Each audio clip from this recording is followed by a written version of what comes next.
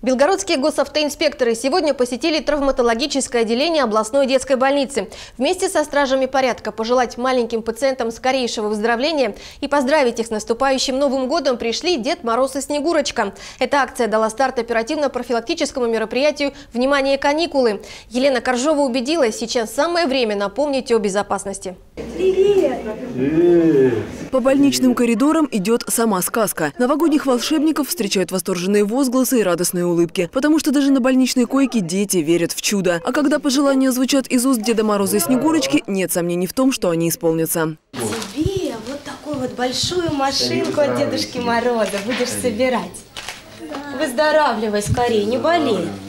Однако повод для сегодняшней встречи совсем не сказочный. Только в декабре на дорогах региона пострадали 16 детей-пешеходов. Стражи порядка спешат напомнить, соблюдать правила дорожного движения жизненно важно. Обращайте, пожалуйста, внимание на все, да, на автомобили, смотрите по сторонам, влево, вправо. Осторожность и бдительность – вот о чем следует помнить на дороге. В этом уверена восьмилетняя Катя. Девочка последние три недели провела в больнице. Причина тому – авария на железнодорожном переезде в Беломестном. Иномарка попала под товарный поезд. Два человека пострадали, двое погибли. Тогда, 3 декабря, Катя потеряла маму, а ее отец – жену. Сейчас ребенок приходит в себя, но вряд ли осознает произошедшее. Как самочувствие? Нормально. Конечно, тяжело говорить об этом. Вот нас уже пообещали пятницу выписать.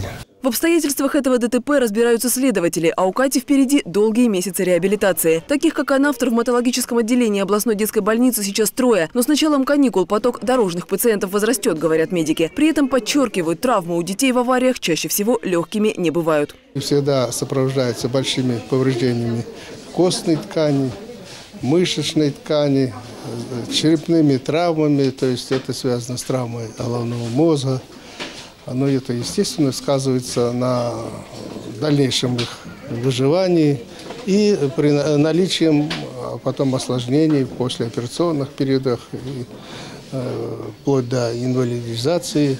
Предотвратить аварии с участием детей – вот главная цель этой акции. А потому госавтоинспекторы еще раз повторили правила вместе с маленькими участниками движения. Особое внимание уделили переходу проезжей части. Я сначала смотрю налево, перешла, остановилась, смотрю направо и перехожу дальше. Подождать зеленого сигнала.